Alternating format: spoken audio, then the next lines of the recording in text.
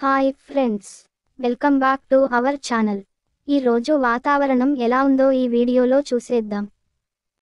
Please subscribe చేసుకోండి ఒక like ఇవ్వండి.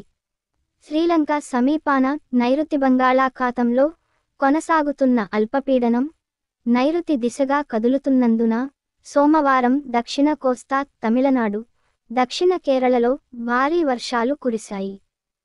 ఈరోజు కూడా ఆ ప్రాంతాల్లో చాలా చోట్ల తేలికపాటి నుంచి మోస్తరు వర్షాలు కురిసే అవకాశం ఉందని వాతావరణ శాఖ అధికారులు చెప్పారు. నేడు అక్కడక్కడ మాత్రమే కొద్దిపాటి వర్షాలను చూడగలము. నిన్న శ్రీలంక మీదుగా ఉన్న అల్పపీడనం నేడు హిందూ మహాసముద్రం వైపుగా వెళ్ళింది. దీని వలన మనం ఈరోజు కొద్దిసేపు వర్షాలు మరియు ఎండ మారుతూ ఉండడాన్ని గమనించవచ్చు.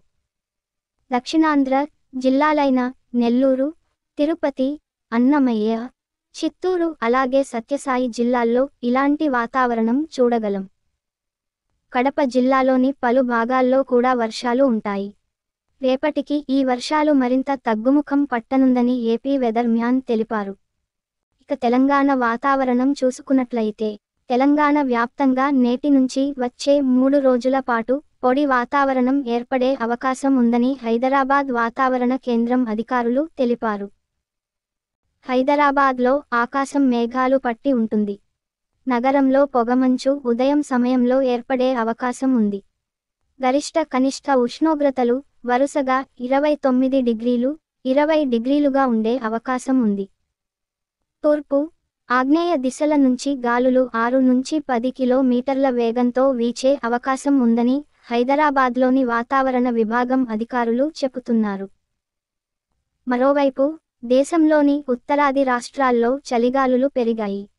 ఉత్తరాది రాష్ట్రాల్లో ఐదు రోజుల పాటు దట్టమైన పొగమంచు కమ్ముకుంటుందని భారత వాతావరణ విభాగం హెచ్చరిక చేసింది. చలిగాలుల పరిస్థితులు కూడా చాలా ఎక్కువగా ఉండే అవకాశం ఉందని అధికారులు అంచనా వేశారు.